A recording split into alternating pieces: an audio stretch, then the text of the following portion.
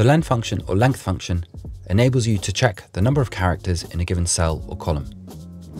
This can be really, really useful for data analysts when you're trying to check whether your data input is standardized or not.